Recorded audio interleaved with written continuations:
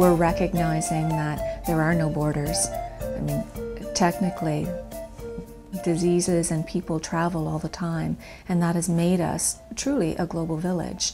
And through that, we're able to really start discussing what global health is and moving away from only the discussion around infectious disease to a discussion about the determinants of health and really understanding what does health mean for the populations that we work with? And how do we create a bit more of a balance within the inequities we see in the world? Medical students need to be aware of what's happening globally. I mean, we are a global village, and I think that was Hillary Clinton in a previous life who coined that phrase. Our patients, in fact, are in India in the morning and here in the afternoon. So if you're not aware of the global distribution of disease, then you can't be an effective physician.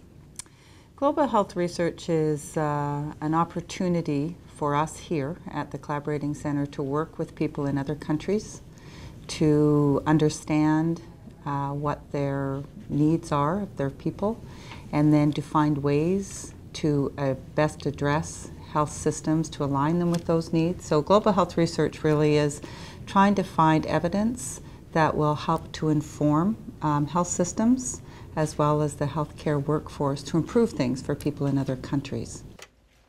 Ultimately, you can't, you can't really move forward in any of your work unless you have documented some evidence. Everything that we want to be doing, particularly in health, is based on evidence. So we need to be able to both from a qualitative perspective, being hearing the voices and understanding the needs of the communities where we're working, uh, as well as quantitatively being able to document uh, what's happening within communities. Without that work, without those voices, without that data, how can we promote best practices and how can we also be making change within communities? Um, Global health research is not about researchers sitting behind their computers and, and trying to solve difficult questions, but instead, global health research is working with um, people in the country, so people who are leading up healthcare organizations, people who are working in government and oftentimes in very senior government posts, so that global health research, um, through partnerships like that, can provide them with what they need the evidence that they need on an ongoing basis to make better decisions that address the health of their people and arrive at better health systems, for instance, that address those. So global health research is all about partnerships. It's all about building capacity and bringing government people, people who live in the communities, um, advocates, um, uh, professional associations together with uh, people in our province and in our country to build capacity overall.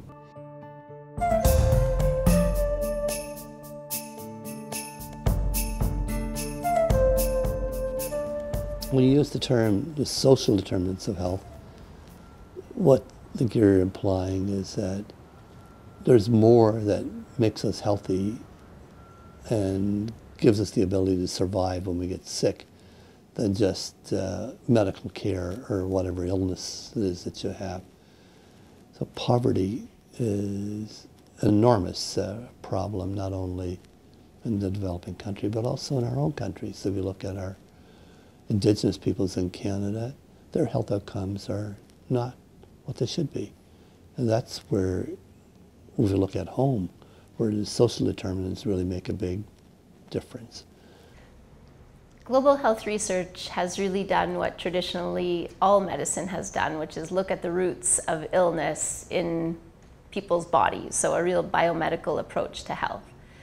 But what we know now is that the social determinants of health play a huge role in our experience of health. And those are things well beyond the body, such as what kind of housing we have, what kind of schools we attend, uh, whether we're boys or girls, what the democratic institutions of the country we live in are. Um, so there are many, many aspects that affect a population's health that go well beyond the biology of our own individual bodies or lifestyles.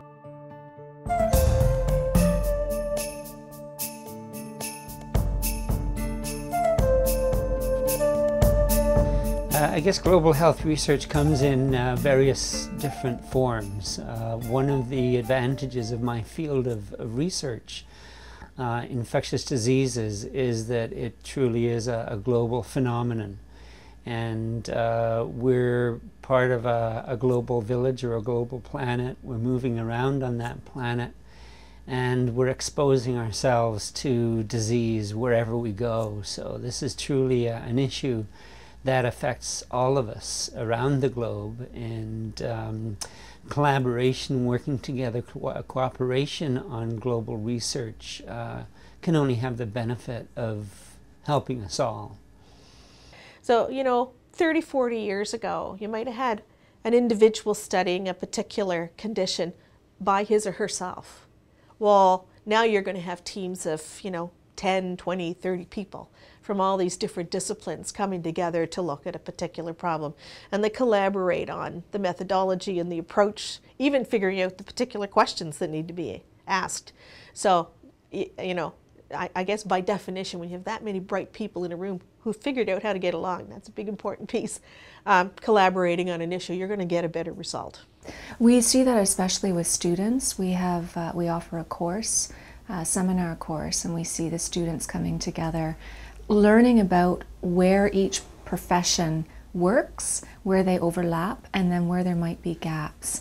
And that's been really quite exciting to see students learning about each other. So, nursing students learning about medicine or occupational therapy. And they may not have that opportunity within a classroom, but they get it through our course, and then they get it when they're doing clinical work overseas as well.